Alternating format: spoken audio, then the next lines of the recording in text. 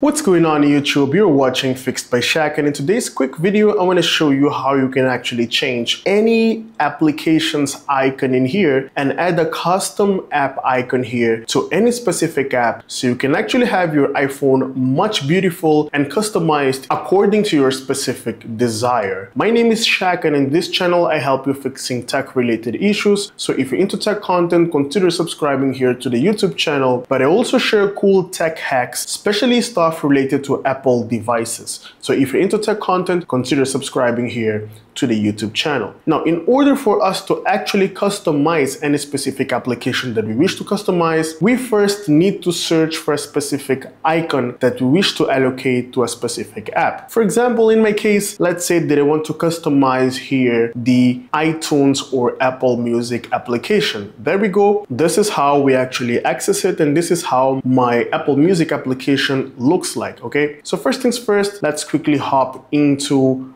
our internet browser. In my case, we're rocking Safari in here, and then we're heading straight into google.com. So Google will of course be the best place for you to search for a customized icon or logo. You can also create it on your own. You can create your own logo if you wish to, or if you are a graphic designer and you know what you're doing, you can also create your custom logo. So in my case, since I'm not a graphic designer, I'm gonna search for a specific logo in here. So let me quickly type in here, for example, Apple Music custom icon. Tap on search. There we go. If I tap here on images, you do have different and various customized logos in here that we can actually use as a cover to that specific application. So we actually customize it. For example, we do have this one, we do have this one, this one, this one. Okay, we do have various types of designs. This one's really good, for example. We do have many. So we need to download the specific icon that we actually like. Okay, so in my case, I'll be going with this one. So I actually like this one. Tap once on that specific icon. It's gonna take you a couple seconds to load and then simply tap here on visit once and then that specific image will show up in here in the maximum resolution. Next up, we simply want to press and hold on that specific image and tap on save to photos to save that specific image or download it. There we go. Let me hop into photos real quick there we go. And then I'm gonna tap once on that specific icon and here we go. We do have my icon in here. Now there's something very important that you need to double check. Make sure that you're downloading an image with a transparent background, okay? For example, if you can see, if I simply close this or if I drag it all the way here, you can see that we don't have any background in here because we want the app to be represented in this specific shape. You might be downloading, for example, an image with a white background, something that would look like this. Let me quickly take a screenshot, for example, just to showcase it to you guys. You may be in a situation where you might be downloading an app that looks like this. For example, as you can see, there's a difference between this icon in here and this icon in here. If you download something like this with a white background, it's going to be actually saved with this white background here on the app and it won't look good at all. Okay, so I would recommend you guys to make sure that you're downloading image without a specific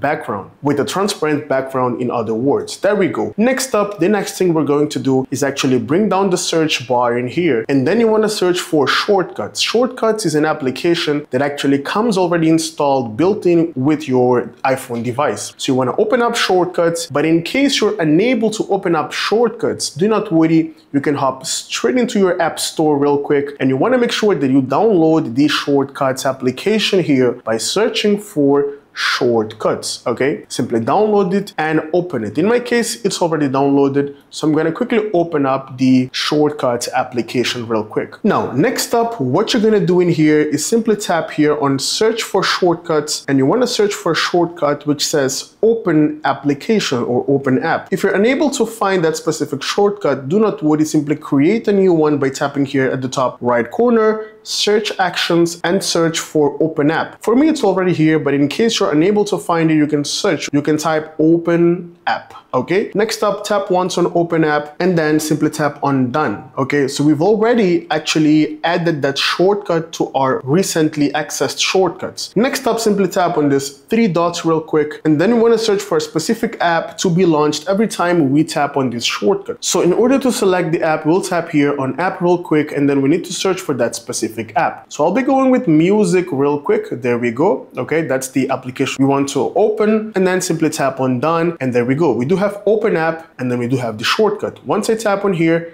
the Apple Music application opens up real quick. Beautiful, so far so good. Next up, simply tap on these three little dots in here and then you want to tap on this little arrow here at the top of the app, okay? Next up, you simply want to tap, of course, first of all on rename and then you want to add or you want to allocate a specific custom name or the name of the app. So besides customizing that specific logo or icon, you can also customize the name of the app. So over here, I'm gonna allocate the name, for example, Apple Music. There we go. Okay, tap on OK. And then if you simply tap once again on this little arrow, next up, we'll tap here on add to home screen. Okay, so once we tap on add to home screen, we're actually adding that specific application to the home screen. We're basically exporting everything we've done in here. So we do have our custom name as Apple Music and it shows you a quick representation of how the app will look like on your home screen. Next up, simply tap here on this little image logo in here and tap on choose photo to add a custom image to that specific application or shortcut. Next up, select this one, of course, the icon without a background